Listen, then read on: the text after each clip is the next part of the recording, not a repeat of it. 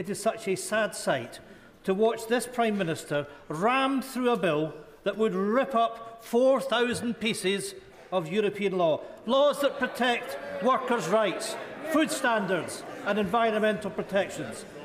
And it's an even worse sight watching the leader of the Labour Party desperately trying to out-Brexit the Prime Minister. Ruling